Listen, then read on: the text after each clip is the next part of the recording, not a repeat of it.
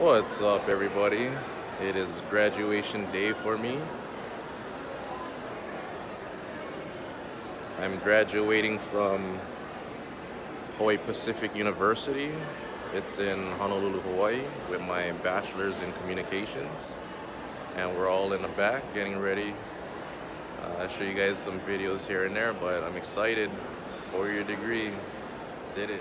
So we're getting lined up. Show you guys the line.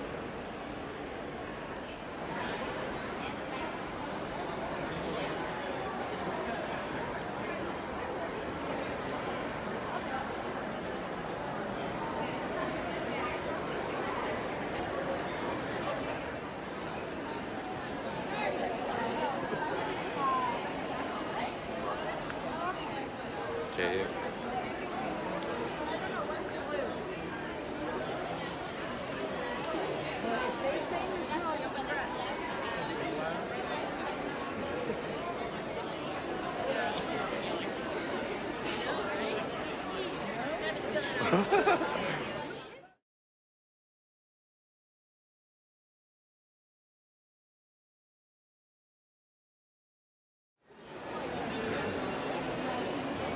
guess we're the first ones to walk out. Lining up.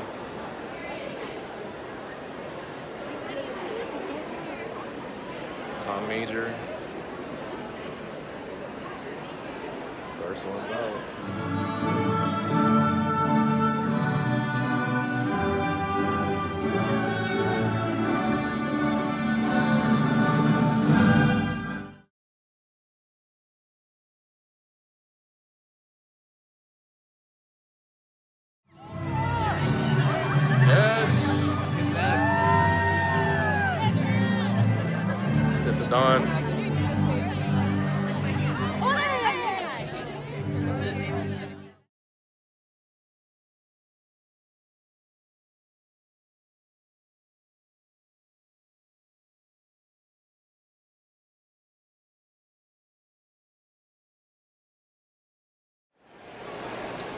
Just graduated. Waiting for family and friends to come out. I'll show you guys more. There's tons of people.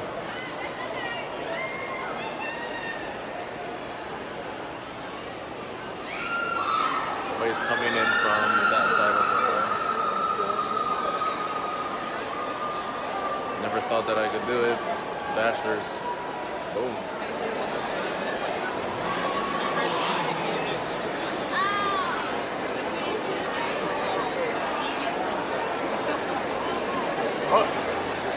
Sign. Did I see the sign?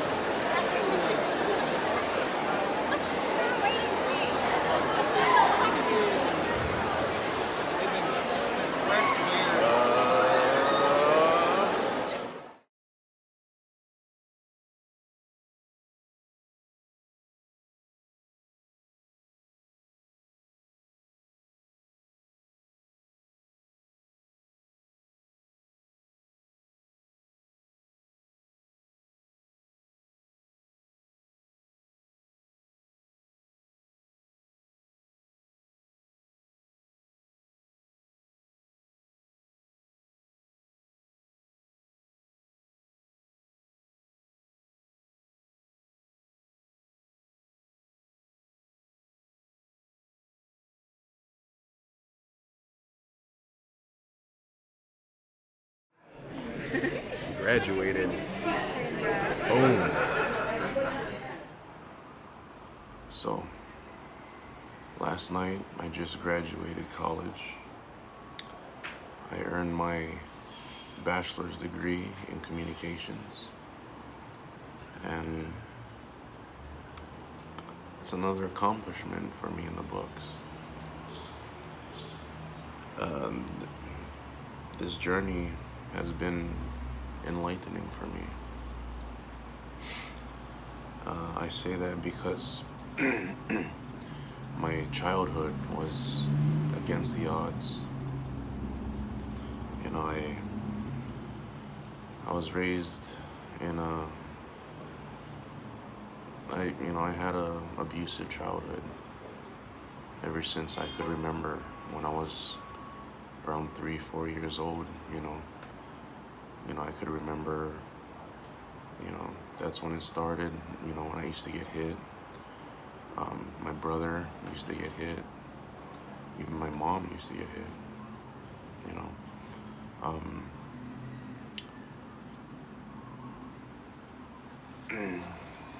growing up with child abuse is is um, obviously it's not the best thing, but you know, like my brother. So I am the youngest out of four brothers, and the two oldest are half brothers, and my blood brother is three years older than me, but he is mentally handicapped. So, which, of course, my mom says it's my dad's fault. But, you know, that being said, I had to grow up faster. You know, I had to take care of my brother and I had to fight for him because people would tease mentally handicapped people or just handicapped people in general. I don't know what it is, but people tease them. I don't know what the fuck their problem is. They have issues themselves. But I had to protect my brother. I had to fight for my brother. I had to grow up fast. So, you know, I didn't have the normal childhood. I wish, you know, I wish my older brothers, you know, fought with me, taught me stuff, but it was the other way around. Um, yeah, so, you know, I grew up with that. And that being said, you know, I was, I don't know if it was the guilt from my father, but you know, my brother was always favored. And I always got the short end of the stick. Um, you know, my mom noticed that my brother was favored and you know, whenever my dad wasn't around, she would, you know, buy me small toys so I could enjoy myself or um, like when we went to go eat or whatever, like if I was still hungry, like she would give me, you know, extra food and whatnot because I don't know. But my mom always tried to take care of me when my dad wasn't around, you know, being mean. Um,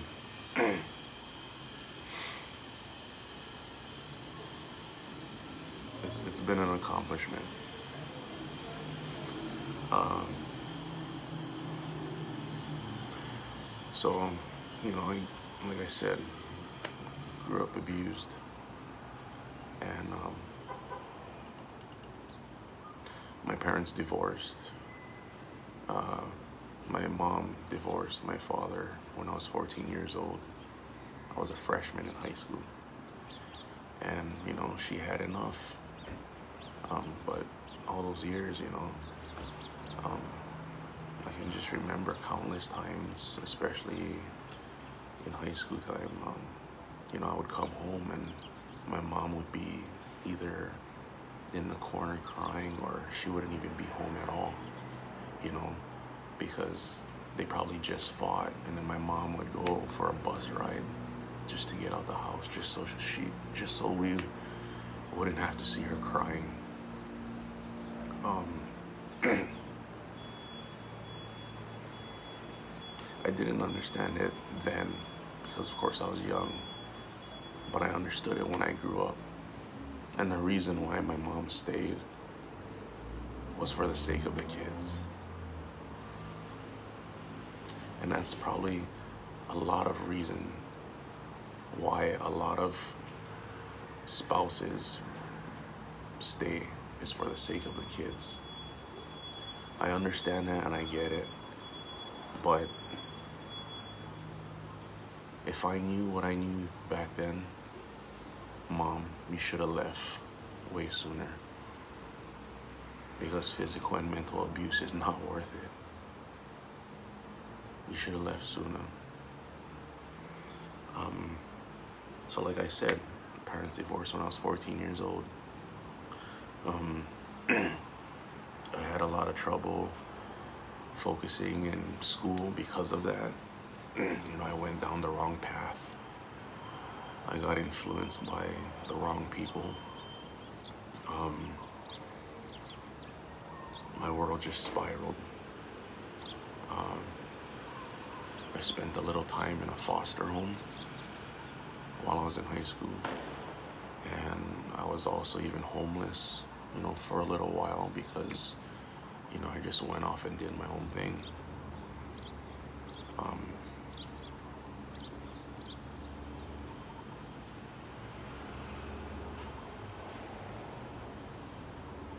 some of you can relate to what I'm talking about.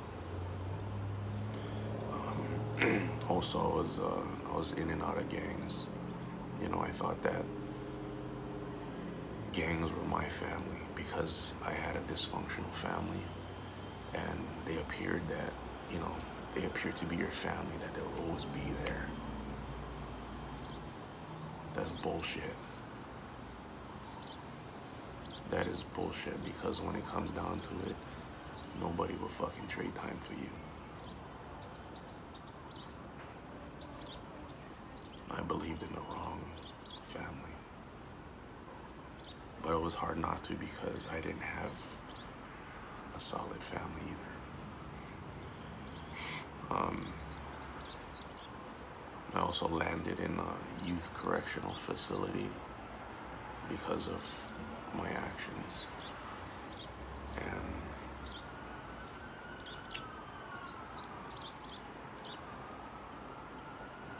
there was a lot of trial and error.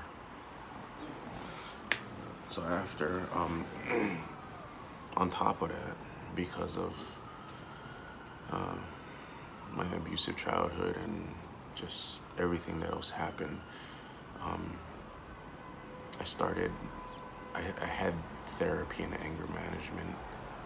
And that started when I was in the fifth grade.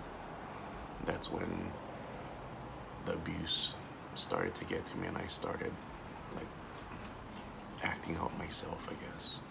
So from fifth grade all the way till I graduated high school, I had therapy and anger management. And um, I I had a choice. You know, when I was about to graduate and it was either continue down the path that I was going, which was the destructive one, or make a change, get together, get my life together. So when I was about to graduate, the last months, um, I uh, I decided to make something with my future, and I I decided to join the military. So one month after graduating, I was already in boot camp. I needed to leave. I left right away. One month after I graduated, shipped straight to Fort Benning, Georgia. I joined the army and I was an infantryman. And that's where I got straighten the fuck up, you know. Um, I had to learn how to bite my tongue. You know, I, I mean, don't get me wrong, I was still fighting and getting in trouble, but I, I still had structure, you know. Um, I did my first two tours to Iraq before I turned 21 and uh, you know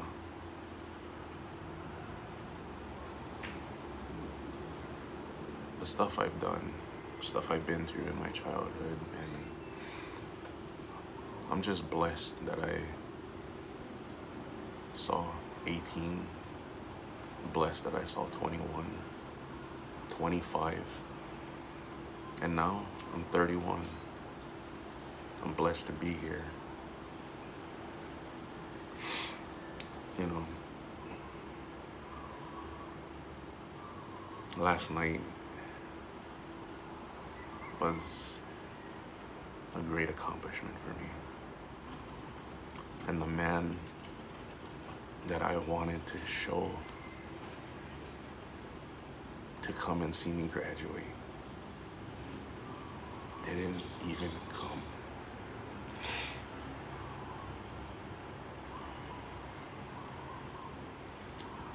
I know you may be thinking out there, oh, he must be busy or whatnot, or he forgot, or that's bullshit because he knew about this months prior. The one that I wanted to fucking show that I did it because growing up, the fav- his most favorite word that he would call us, all of us, me, my brother, my mom, his favorite fucking word was calling us stupid. Look where the fuck I'm at, bro. I graduated. I'm the first one to graduate. I didn't get no call all yesterday congratulating me.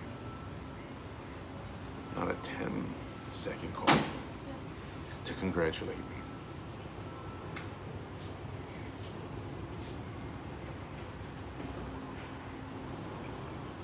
But hey, it is what it is, right? Most important thing to me, at least my family was there. My wife and kids was there. My mom was there. My Friends were there.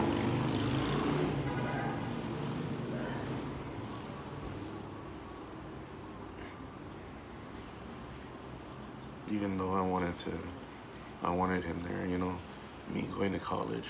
it was for self-improvement. It was for me to show myself that I can do it. And also, I want to be a good role model to my kids. To show them and show everybody out there you can do it. So, how you like those fucking apples, huh? You know, it doesn't matter what your past is. It matters what you do with yourself. I just shared with you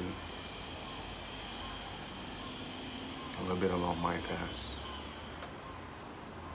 And look where I'm at. I'm a college graduate.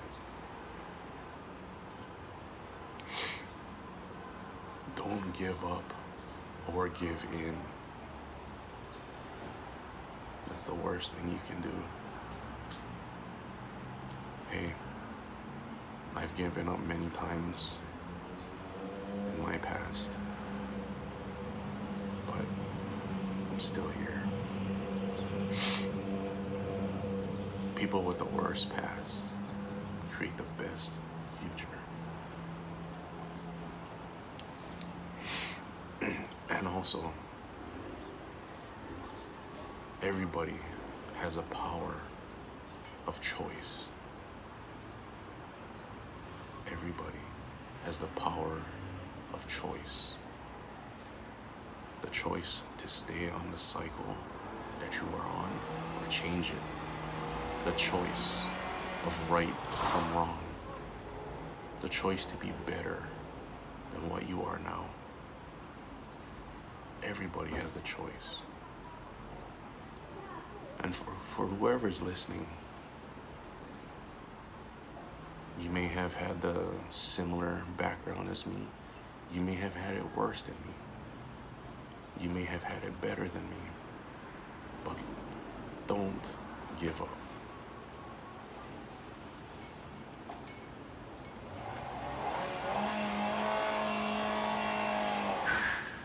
And to all the youth out there, I hope this is some motivation to you. Because if you're going through the same stuff that I went through when I was growing up, don't lose hope. Because if I did it, you can do it. Don't lose hope. Keep your head up. If you get knocked down, get your ass up, shake it off, and go again. Even if you get knocked down 10 fucking times, get your fucking ass up and keep going. And everybody that doubted you, show them